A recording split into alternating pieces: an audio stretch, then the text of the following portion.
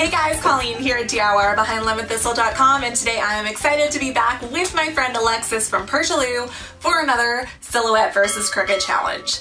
In these videos, we each take on the same challenge and we test out our machines and the software just to see what they can do, see the limitations and how they compare to one another. So I am Team Cricut for this video, I'm using my new mini cute little Cricut Joy, and Alexis is Team Silhouette, and the challenge that we are taking on today is the software itself.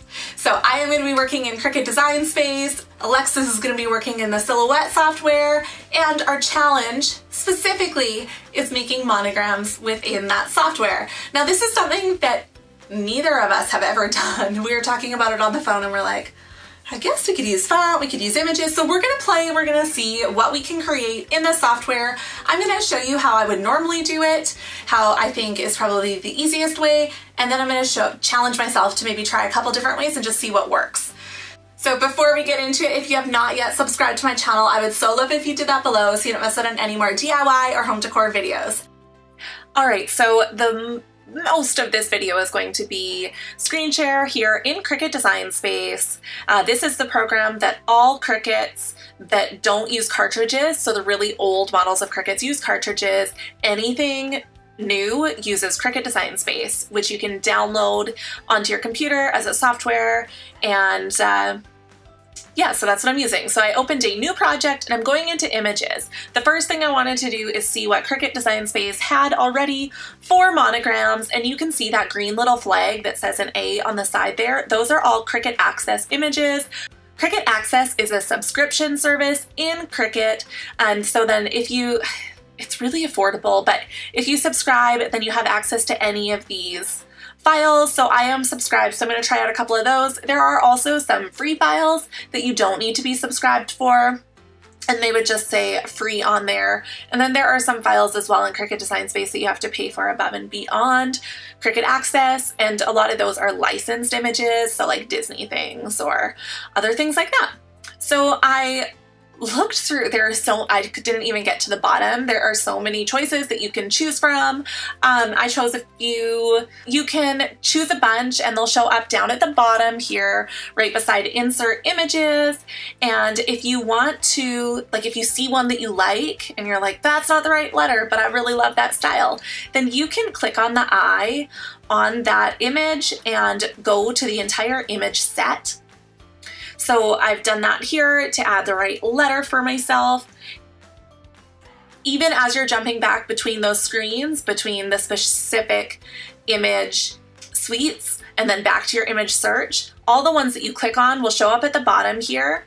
So you can select more than one and insert them all at one time. You don't have to go back in and find where you were scrolling, which is nice. Okay, so I wanted to do this way first because this is the very easiest way that I could think of to make yourself some monograms using your Cricut in Cricut Design Space and depending on which files you choose, I wanted to give you kind of a variety. That M there, that monster M, is a draw file. You could change it to a cut file, but it's going to cut all those little lines. Um, so that is perfect. I'm going to put it on a card for my nephew whose name starts with an M and he can kind of color it if he wants to. There's other ones that are multi-layer cut files and so both the mermaid and the tropical V are those. So you could turn off one layer, you could turn off all the layers except for the very top one or the very bottom one.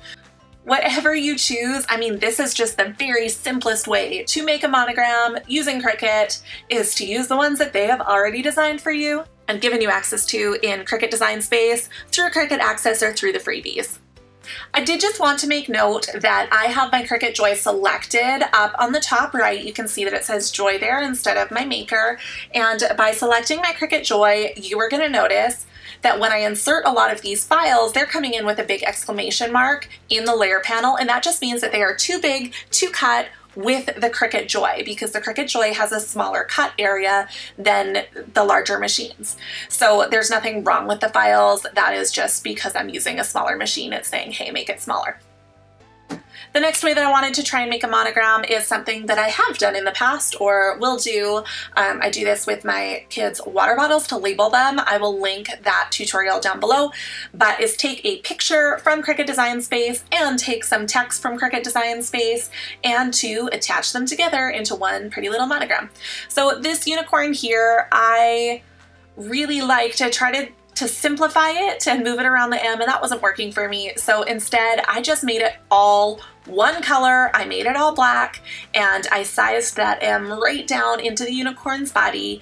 And then to attach it together so it all cuts in one cut file, I used the weld button. So weld, which is at the bottom of your layers panel there, that will attach the M and the unicorn design into one thing. Once it is attached, with the weld button, not attached, I shouldn't use that word. Once it is welded, it moves around as one piece and it, like you can't um, them separately from the unicorn. It will cut out the M and the unicorn so that they're stuck together. It won't cut out the M as a separate piece within that unicorn. So just keep that in mind. Um, once you do that, it's all one file. All right, so next I thought I would try to find a badge or a crest, like the background from a monogram, and I had a really hard time figuring out what that was called. So I just went back and searched monogram and I used that most basic one there. But I mean, you could really make a monogram out of any of these shapes. I just wanted to keep it simple for the sake of this video.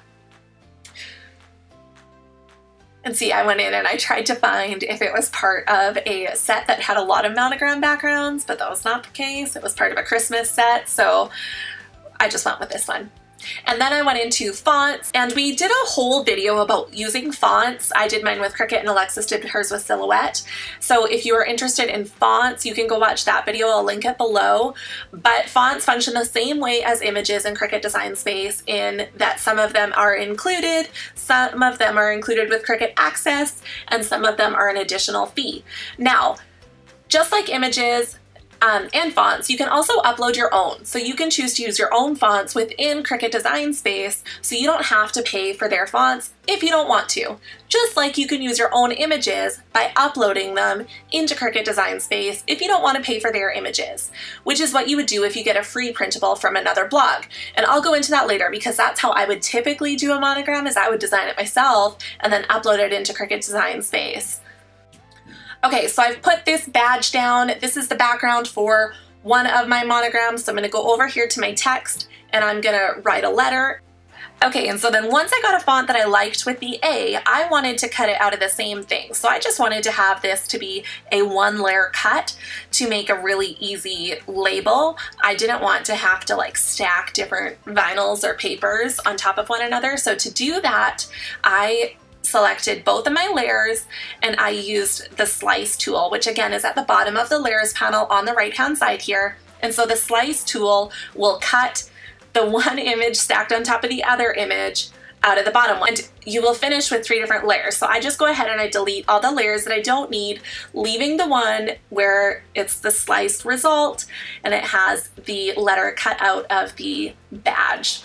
All right, and then you can resize that so it's ready for cut. Next up is this modern botanical monogram that I am making using these leaves and I've actually used these leaves for another project that I haven't shared yet on my blog. I'm excited to, it turned out so pretty.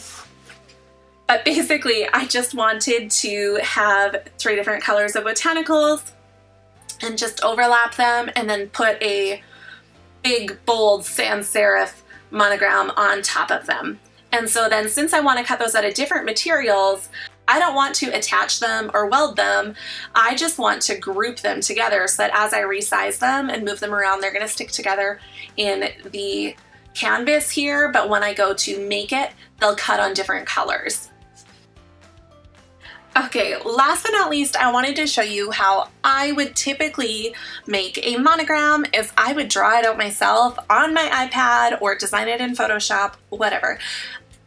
I would probably draw it on my iPad like I did here. So I just drew this and then I'm uploading it into Cricut Design Space using the upload function, saving it as a cut image, and then inserting it onto my canvas. Now, if this is something that is new to you and you want to learn more about it, I have a whole video about how to upload your own images into Cricut Design Space that I will link below, so I won't go too slow on this right now, but because this one I wanted to have two separate layers for, and I have them saved as PNG files instead of an SVG because an SVG is more time consuming to make and this is just for me. I don't need to make it all fancy.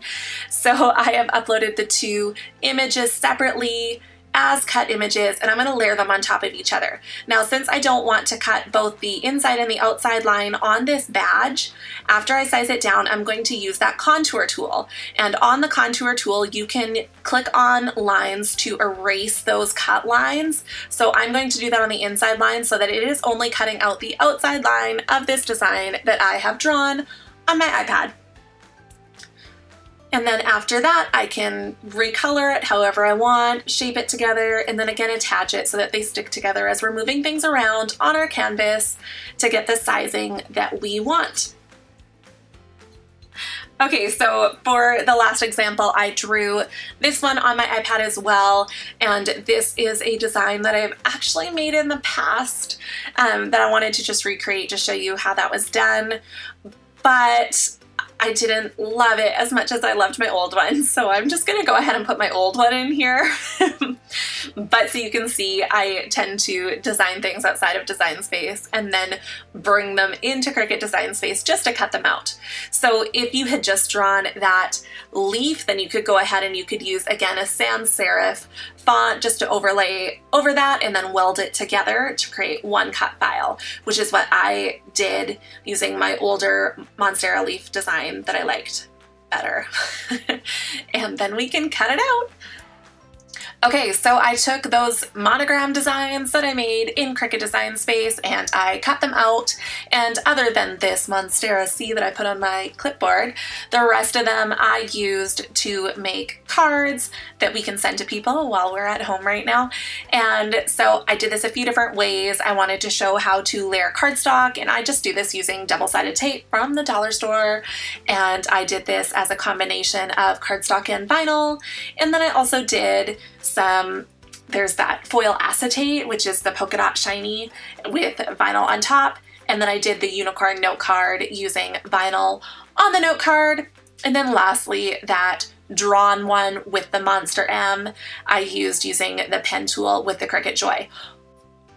A few different styles of cards, really quick, all squeezed into one little video about how to make monograms using Cricut Design Space.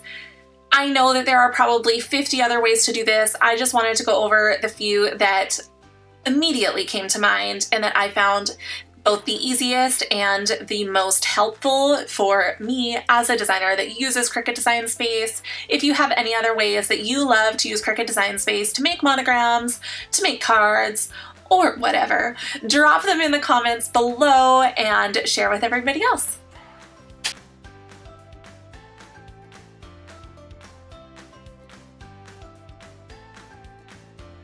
Thank you so much for watching. I hope that you enjoyed this video. If you did, make sure to give it a thumbs up and subscribe so you don't miss out on any more DIY or home decor videos. And as always, if you'd like to be notified of new videos, make sure to hit that bell. If you guys have any requests or suggestions on topics that you would like to see us cover in these Cricut versus Silhouette videos, make sure to drop that in the comments below. We'll see you guys next time.